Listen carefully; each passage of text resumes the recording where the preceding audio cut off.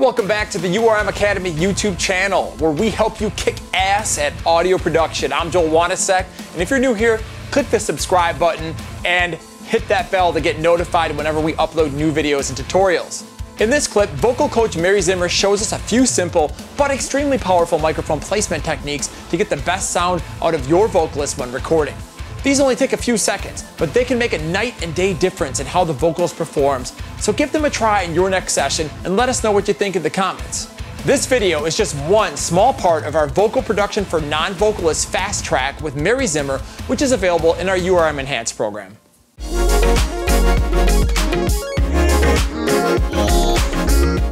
All right, everyone. Now we're going to show you how to adjust microphone placement for your vocalist while you're recording.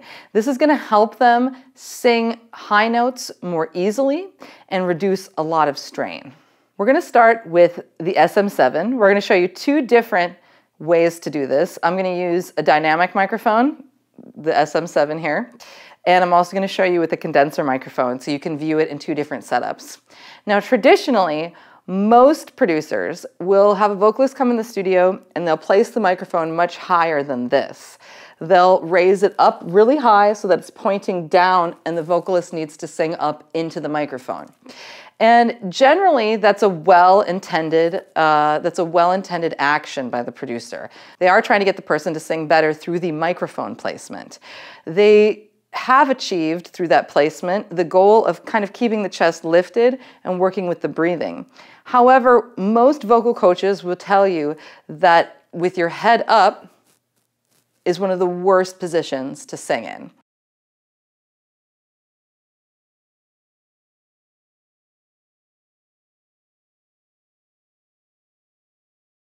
It's also one of the worst positions to scream in.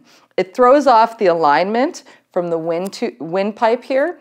It throws off the alignment from the windpipe here, uh, and it will restrict airflow and it also creates a great deal of tension in the throat here.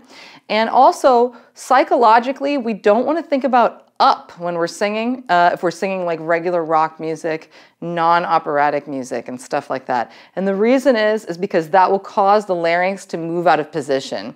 It's a little complicated, but I mentioned earlier that our larynx and our voice box are sort of controlled by a conglomeration of centers of the brain that kind of accumulate in our abstract thought our language centers, our emotional centers, and that's what primarily controls the actions of the vocal cords and the larynx. So what we need to do is we need to tap into that and we need to make sure that we are giving people a visual that doesn't force their throat upwards. So I've had a lot more success when I teach lessons, actually asking people to look down when they're singing high. Uh, it keeps their throat really relaxed they stop thinking about up, they stop straining and reaching uh, like that for the note. So that's what I would encourage you to do. If you have your mic up the whole time they're tracking, they're gonna strain, particularly like if they're a screamer. They're not really reaching for high notes, if you will, even if they have high screams. So let's not do that. Let's not add tension where we need to uh, relieve tension. So what you're gonna do is I, I would prefer you to take, you have two choices with the dynamic microphone. Um, number one, if you have one like this, uh, I actually have the SM7B at home, and the only difference is, is that it also comes with an additional pop filter, in addition to this one. This is the standard one on a regular SM7, but it's even bigger. It's a fatter pop filter. It's a bigger piece of foam. So in this case, we have a built-in pop filter. We don't need to add one. And um, so we can just worry about placing the mic, and we can actually, I would actually move this to be either directly in front of the vocalist's mouth like this, or I'd almost prefer it to be down a little bit. So I'd actually bring it down below the person's mouth, and then you're gonna angle it up like this. And you're gonna have them singing down into the microphone. Hey, like that. And this is because you wanna still make sure that the diaphragm is catching you know, is catching the signal properly. You don't want to, you know, you need to make sure that mic to your source lines up. But that's why you want to point the angle up, okay? So you always want to make sure that it's angled at their mouth, not too far down, obviously. If it's like this, then you're going to have other restrictive issues. So just a little bit down to maybe where the head could be at a 45 degree angle. and um, have them sing that way, particularly if it's high notes. It's going to keep them incredibly relaxed. You do still want them to do the chest lift trick, but you can lift your chest without looking down, you know, while you're looking down. You can clearly see that I'm doing that. You still don't want them to be doing like, wow, wow, like that kind of a deal. So that could happen though, if even if the microphone is up, it's not going to prevent them from going like, you know, that's related to their breath technique. So it's not really going to help you. A lot of people are trying to get the high microphone to mitigate that, but it doesn't really work that well. So we're gonna worry about the larynx here and trying to keep have people have a relaxed throat. And this is the angle you want them to sing down into it. And that way we're not straining the throat. So I highly recommend that. Now let's take a look at how to do this with a condenser microphone so you can see how we would angle that. All right, so now I'm gonna show you how to do the same mic placement suggestions with this condenser microphone. So you can see that I have a, a Neumann U87 here, a very standard, uh, industry standard condenser microphone that you're gonna find at a lot of uh, big studios, proper studios. Normally, you would actually see it mounted upside down in this cage a lot of times uh, as the vocalist sings up into it.